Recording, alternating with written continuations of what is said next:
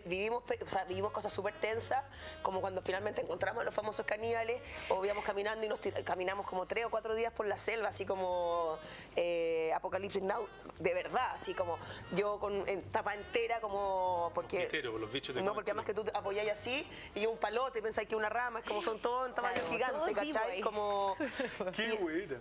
Y de repente flecha, así, ta, ta, ta, suelo, al suelo, al suelo. Ah, pero- Y sí, nos, nos atacaron con flechas. Y eso sí que no estaba, Y no era No cupido. estaba ni. No, no era Cupido. No, y además yo igual, caché, después dije, lo que hablábamos con Ricardo, decíamos, yo te la dejé pasar, pero como... Claro, como Pero- para hacerte el favor. El... Porque... Pero a Astorga, perdón, a Astorga les gusta eso. le encanta, Astorga, ojalá que aparezcan los caníbales y lo metan en la cacerola y se salve a última hora. Sí, Él pero- es Indiana Jones. Sí.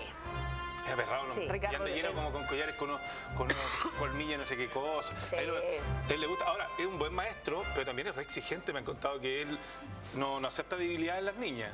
O sea, igual, igual. Sí, igual, igual. Yo, no, yo, eso, yo, no- yo soy hombrecito para esas cosas, no tengo problema.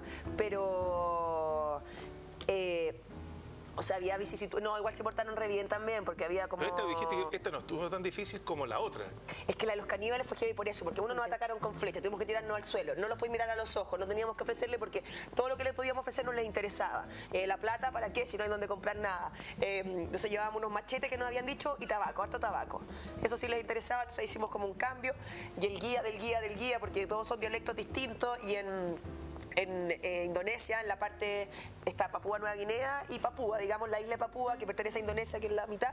eh, entre un pueblito y otro hay que llegar en avioneta solamente porque son incaminables, ¿cachai? Entonces, cada pueblito tiene su dialecto, entonces llevábamos con un guía gris o con un guía inglés que conocía a un amigo y así como era todo un teléfono muy largo.